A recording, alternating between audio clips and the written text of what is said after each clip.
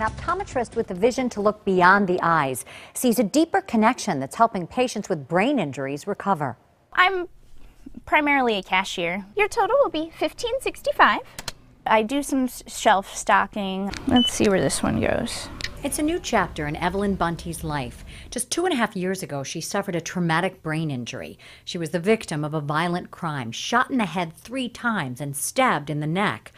Evelyn's made significant progress in her recovery, including regaining her vision, which was completely lost as a result of the attack. To this day, I still have issues with my peripherals, but it's amazing in comparison to being totally blind to now able to hold a job.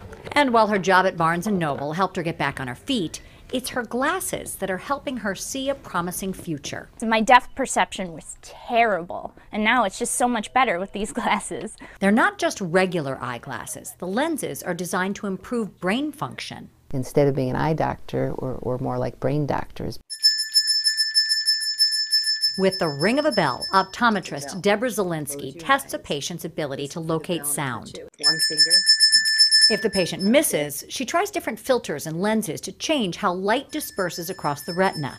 The right mix balances central and peripheral vision and syncs the ear eye connection, which Dr. Zelinsky says enhances attention, social skills, learning ability, and overall comfort. Most people who've had a concussion of some sort or learning problems or autism, their eyes and ears are not synchronized with each other. So now I'm going to put a new lens in front of you here. Close your eyes, touch the bell. Much better. She was definitely having a hard time with reading comprehension and her math skills. Since seeing Dr. Zelinsky, we've noticed a huge improvement. DePaul University Associate Professor Clark Elliott had the simple test and wore special glasses after struggling for years from the effects of a serious concussion, the result of a car accident. He even wrote a book about his experience. The principles are quite simple. She bent the light to healthy brain tissue, and that part of my brain would wake up through the miracle of brain plasticity. All of that visual spatial processing in our brains took over, and it was now routed through healthy brain tissue, and we were working around the damaged tissue. In a brain injured person, a lot of these signaling pathways get disrupted.